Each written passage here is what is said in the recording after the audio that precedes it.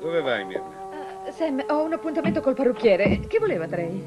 È furioso perché ho fatto andare via Kelly. Sei andata ieri dal parrucchiere. Sul serio, ti sei liberato di Kelly? E come ci sei riuscito? No, non importa. Voglio sapere dove vai. E devi dirmi la verità stavolta.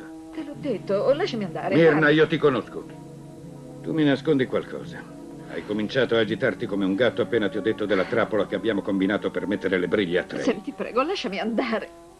Sei arrivata al punto di suggerire di far sparire Sloan per poter mettere a tacere la faccenda che mi riguardava. Era tanto per dire.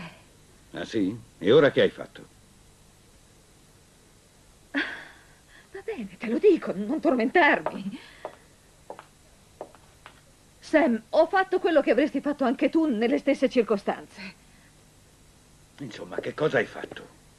Ho incaricato una persona di convincere Sloan a ridarci le prove che ha. Ecco, tutto qui.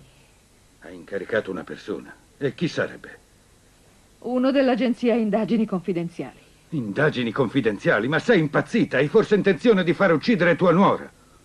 Sam, il signor Eli mi ha assicurato che avrebbe persuaso Sloan a restituirci le prove. Eli è un investigatore privato, ma anche un pericoloso picchiatore. Ed è così subdolo che nessuno è mai riuscito ad accusarlo di niente.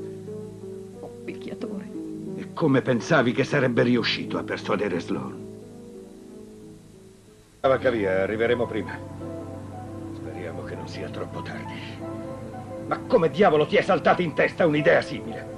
E questa volta l'hai fatta proprio grossa! Sam, ti prego, sono già abbastanza nervosa. Non c'è bisogno che mi urli nell'orecchio. Ma come ti è venuto in mente di assoldare quei delinquenti? Quella è gente pronta a tutto. Che cosa pensavi di ottenere mandandoli da Sloan? Tutto questo non sarebbe successo se fin dal principio tu mi avessi detto la verità. Ma come potevo immaginare che tutta questa storia fosse solo una commedia? È colpa tua questa volta, non mia. Risparmia il fiato e prega piuttosto che arriviamo da Sloan prima